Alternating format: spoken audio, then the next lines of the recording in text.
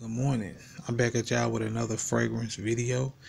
This is another one out my collection. Um, this is La Nuit de L'Homme. They released this last year, uh, 2018, uh, YSL. Um, I like this fragrance right here, but particular, you know, on my, um, you know, skin, it only lasts uh, a couple hours and everything like that. Um, smell good. Uh, the nose in this um, is cardamom, uh, cedar, and um, C O U M A R I N, uh, cardamom or something like that or whatever. Some type of funny, you know, I can't pronounce it, but uh, this smell good and everything. This is a 3.3 uh, 100 mil. Um, you know what I'm saying? Bottle. This uh, was made in France and everything. Got a little nice little top to it and all that. So, um, you know what I'm saying? The atomizer on it.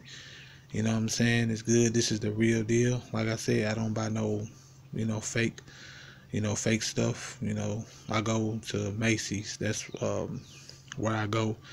You know, um, and all them blind buys blind buy is when you can't um, smell the cologne and everything. That's a blind buy, like at Ross or you know uh, Walmart and all them other places that sell fragrance. But I um, just go to Macy's. Sometimes I go to Ross and everything like that, or I go to Burlington.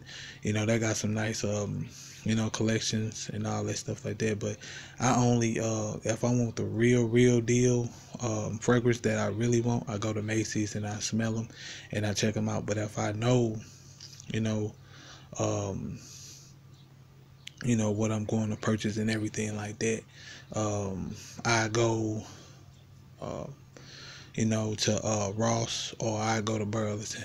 You know, but for something in particular that I really want, or if something brand new just came out, I would go smell it at Macy's. It it probably be um ninety some bucks or whatever. So this right here, particular fragrance, um, was about almost a hundred some dollars. So I say ninety six dollars and some change. So y'all go check out some of this. You know what I'm saying? Um, you know y'all may love it, or your significant other uh, may love it. But I got a ton of compliments off this fragrance. You know what I'm saying? This is out of my collection. Um, and uh, y'all, you know what I'm saying, stick around and everything. I got more fragrances uh, reviews on the way and everything. This is another one of my favorites. So like, comment, and subscribe. Share the video. Turn on post notifications so when I upload a video, y'all will be the ones to get it first. Hey, and always remember, you know, God number one. Protect yourself and your family and stay armed at all times. God bless. I'm out.